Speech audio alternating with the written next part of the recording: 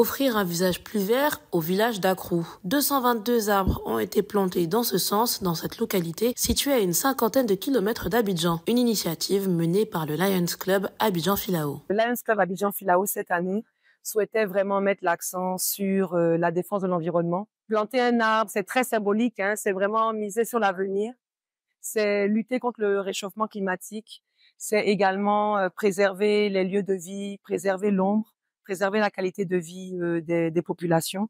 Donc, on espère vraiment apporter quelque chose de très positif euh, aux populations d'Accro. Accompagné par NCA Bank et la Sodefort, ce planting vise à lutter contre le réchauffement climatique. Euh, nous avons bien voulu nous associer parce que euh, ce type d'action euh, contribue à la préservation de l'environnement et la préservation de l'environnement est un acte euh, fort qui rentre dans les objectifs de développement durable que nous soutenons. Donc, dans ce sens-là, nous avons apporté une contribution euh, à, au Lions Club euh, Abidjan Filao pour le planting de 222 arbres dans la ville de dans le village d'Akrou. Bien plus qu'une simple opération de reboisement, l'initiative a aussi été le lieu de sensibiliser les populations locales. Les habitants de ce village doivent savoir que ces arbres qui viennent d'être plantés seront bénéfiques pour eux d'abord.